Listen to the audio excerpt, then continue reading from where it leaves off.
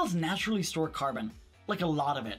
Surprisingly, the Earth's soil contains four times more carbon than the total stored in all living plants and animals, including those forests we just talked about. There are more than 250 million acres of farmland in the US. That's the size of Texas and California combined. But agricultural soils are running a big carbon deficit due to their intensive use. Because of how much farmland there is, even small improvements in farming practices that increase the carbon per acre on farms are hugely impactful. Building soil carbon is even good for farmers and ranchers since it increases soil health and crop yields. Planting cover crops, those are the crops that cover the ground when fields would otherwise be bare during off seasons or off years, can extend photosynthesis throughout the year. And using compost can improve yields while storing compost carbon content in the soil. Scientists are even working to breed crops with deeper roots, making them more resistant to drought while depositing more carbon into the soil. Direct air capture.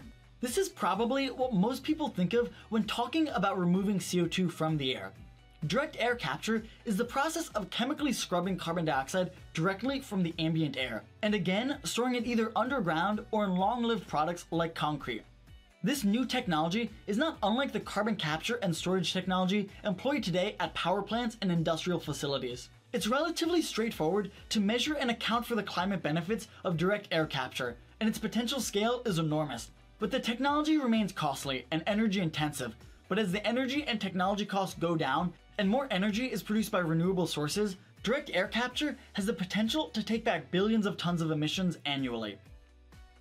Oceans are actually the largest carbon sink on Earth. While the oceans represent a great potential to reduce emissions, when they absorb CO2, it increases the acidity of the seawater.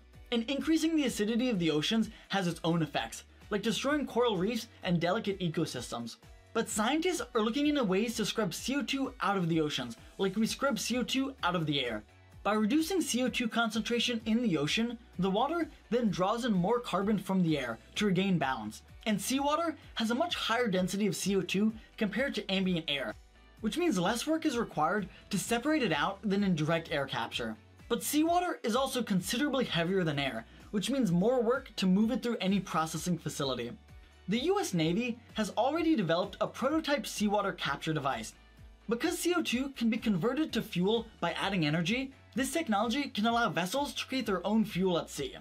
Of course, if the captured carbon is converted to fuel and combusted, it just returns to the atmosphere.